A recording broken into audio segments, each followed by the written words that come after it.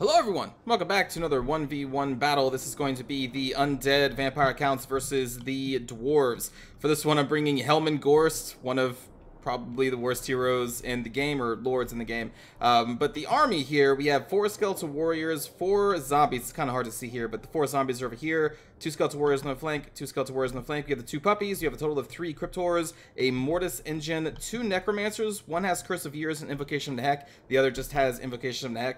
I try to keep the necromancers really cheap because I use them as just AoE regeneration and leadership. And then we have two puppies back in there. For the enemy, they brought two gyrocopters with brimstone guns who are now trying to fire at Helman Ghorst, which I'm okay with. We can regenerate and uh, cast invocation if it's needed.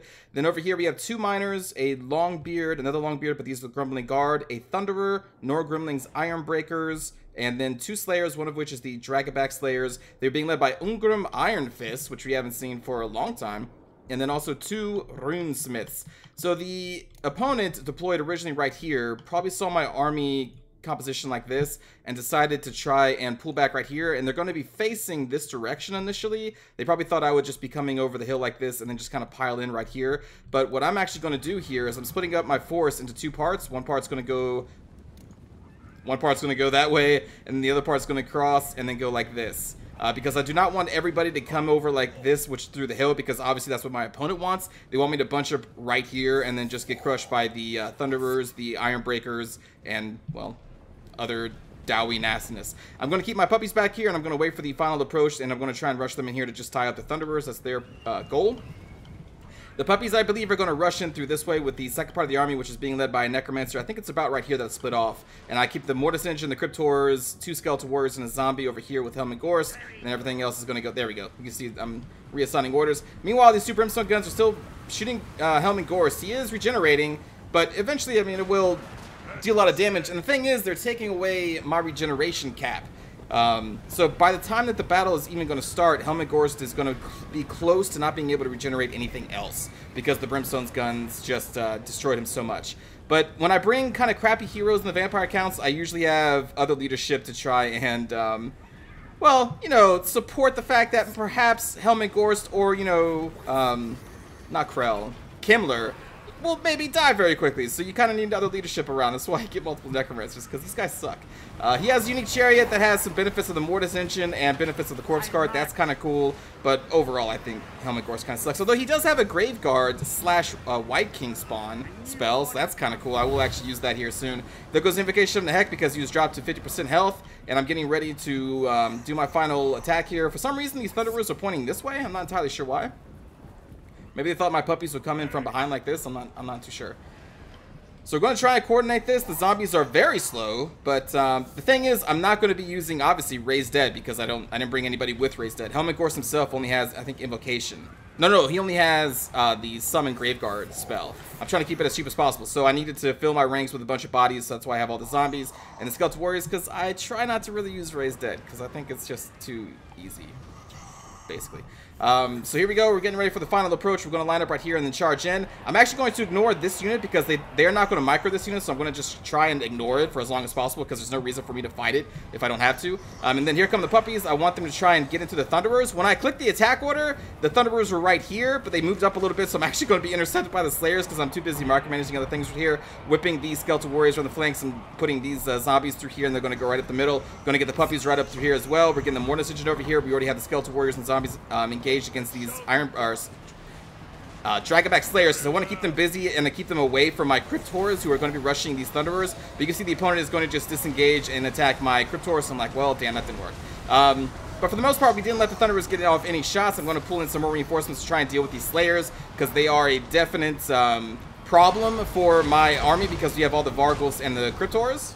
The puppies, in the meantime, are going to be going on this Runesmith right here and also dealing damage to the Grumbling Guard over here along with the Mortis Engine Skeletal backup. Helmengorst is just kind of slowly trucking. He's going to get over here soon and pop his AoE buff that he comes with. Uh, going to be putting the, the Necromancer over here. This Necromancer is going to be hanging out right here. And as long as they're not in combat, their regeneration, Master of the Dead trait, will be proccing. So I try to keep them out of combat for as long as possible, and I just use them as regeneration platforms. You see the Skeletal Warrior, and again, I'm just ignoring this miner because there's no reason to fight them right now. I'm just trying to get into the middle, because once you get into the Dwarf's middle, they kind of start crumbling.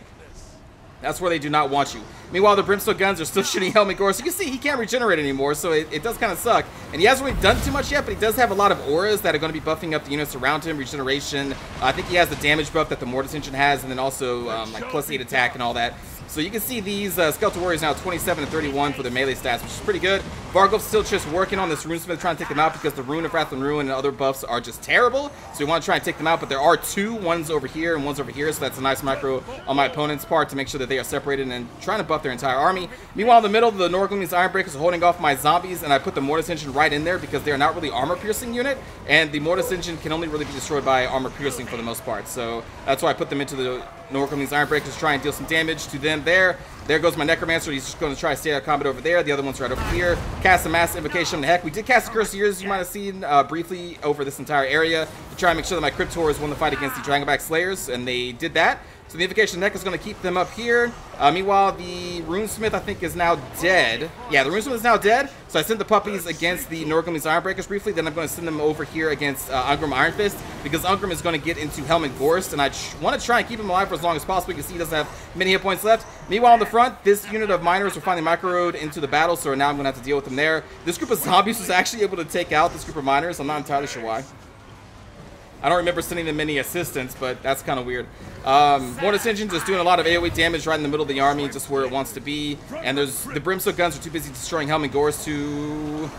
is trying to run away from the battle. They have, like, almost no ammo left, and then they finally take out Helman Ghorst with, like, almost no ammo. So they finally did it. The Brimstone guns did take out my leader. I have my two puppies on uh, Ungrim Iron Fist. But again, I do have leadership that is still nearby with this Necromancer. And where's the other one? Over here now. He's trying to buff up the Cryptors and the Skeletal Warriors over here. And you see the enemy's army doesn't really have that much left. These miners are routing. These miners about to rout. The Iron Breakers have been dealt so much damage because of the Mortis Engine and all the Cryptors and everything. And that is going to be a good game against the Dwarves. Again, the Dawi do not want you in the center of their formation. That is the last place they really want you, and that's where I always try to penetrate um, initially. And, and we did. We got the Mortis Engine in there. We ran the three Cryptors. We ran the Puppies in there, and then it's just like because they really need a wall. Uh, that's what they try and do. They, they form a wall to keep enemies out of their squishy bits. But uh, that's why you just need to have the puppies and cryptors just say like, "F that! I'm just gonna run over these Dawi because they like come up to our ankles." I don't know what the hell are these things anyway. They got beards. Looks weird. Uh, that's what the Cryptors and puppies are thinking anyway. But again, good games to my opponent. Hope you enjoyed the Vampire Counts and Helman Ghorst too. You know what Helman Ghorst did? He ran into battle. He cast that's it's a standard die. I can't remember what it was called, but it's like an AoE leadership and like melee defense buff. And then he ran out of battle and got sniped. There you go, Helman Ghorst. Woo, two thumbs up. Although he did cast a Grave Guard. I think this is the Grave Guard right here. You can see they're uh, starting to crumble. But he, he did do that, and those finished off the Grumbling Guard, I think. So, woo, Helman Ghorst, he's so, he's so cool on his unique chariot. He's so opposite of badass. Uh, but anyway, the Necromancers are pretty good. They were just regenerating. Uh, again, they're not supposed to be in combat. They're just mobile platforms. Uh, zombies did pretty well. Like I said, the one zombie looked like they killed the miner. I may have missed the part where like Varghulf's temporarily engaged the miner group and killed them. I don't know, but it seems weird that a zombie could take on a miner group. Scouts Warriors did what they did. The puppies kind of got killed by the Slayers, but eh, they did all right. Uh, Cryptors did their job, puppies did their job, and the Mortis Engine just was in the middle of everything, doing its AoE damage to any unit nearby, and it's it's a fantastic uh, unit in this game. For my son HW, good game to you. Ungrim Iron Fist, six kills. Got a, a couple good hits on the uh, Helman Ghorst, and then was dealing with, I think, the puppies as I was killing the Runesmith. They were trying to bring it down. It's really weird how Ungrim doesn't have bonus versus large. Why don't they give him that? He's almost like there's really no point in taking Ungrim, really. Um, I just, I just, he's not that great. Like, give him bonus versus largely. Skarsnik has bonus versus large. Why can't a damn Slayer King have bonus versus? It's just, that's just one of those weird things. Maybe they think he's just too overpowered if they gave him that. I don't, I don't know. But he really should get that, so he has like a reason to bring him at all. Um, the Runesmiths, 38 kills is pretty good, but they did their job buffing and um, casting Rune of Wrath and Ruins. The miners did pretty good, got a lot of kills against our zombies and warriors. The grumbling guard, I focused down pretty hard, but they still netted 72 kills. Slayers are pretty good. And the thunderers, I charged immediately and we shut them down. I did not want them shooting anything, if at all possible. The shower copters did bring down Helman Ghorst. Those bastards. And then the Nurglings killed 58. Um, they were fighting. They were fighting a lot of bad stuff in the center there, but they held out a long time as they are expected to. These guys are so damn tanky. But again, good game to my son HW. Hope you enjoyed, and let's watch slow ass Helman Ghorst in a cinematic view. Undeath Resurgent. That's the skill I was trying to think of. It's called different things depending on which faction you're playing. There's Standard Die, I think, is the Chaos version. Then Undeath Resurgent is the Undead version. That's what that does. He casts that once. The Dawi stand ready.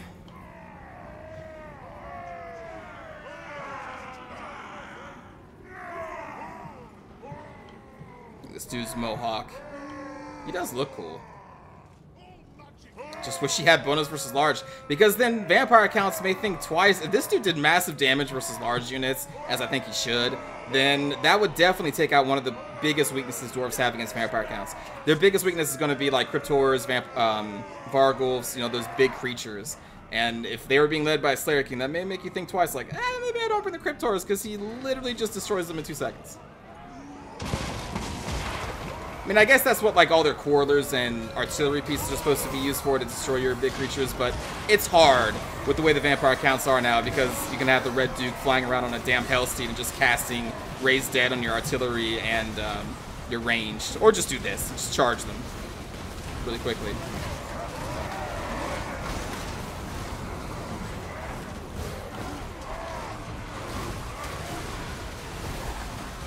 The puppies!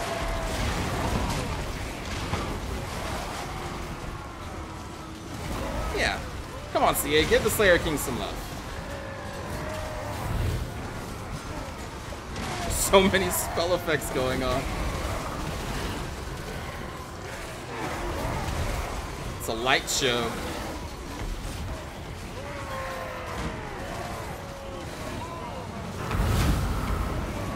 There's that Curse of Years.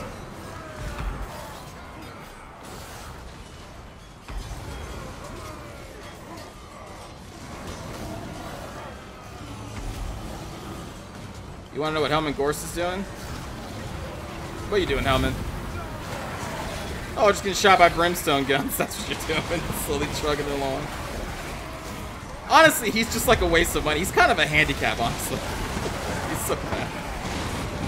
There we go, Graveguard. Woot!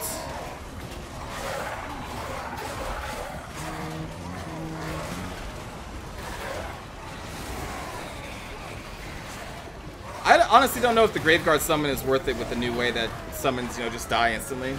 I don't know if they're worth the summon. I think they're cost 12 mana in total.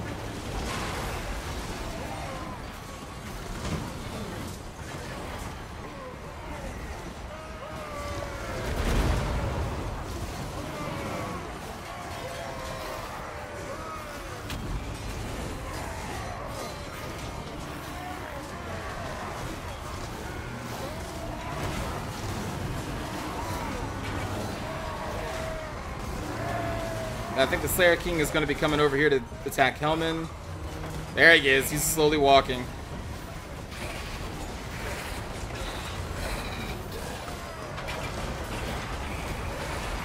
And I'm like, back it up, back it up. back it up. Helman saw that Mohawk coming. Too bad it's not going to save him.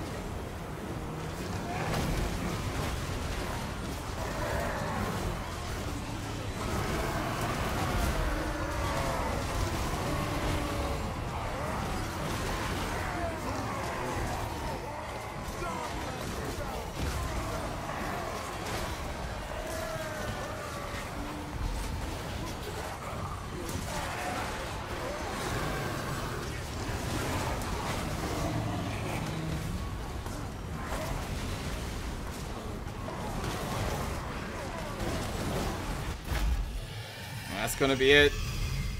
Hellman's Horde. I don't know. I may name this video that. I have no idea. By the time you see this, you already know this video's name. But anyway, hope you enjoyed the battle, everybody. Um, again, good game to my opponent, and I will see you all next time. Take care.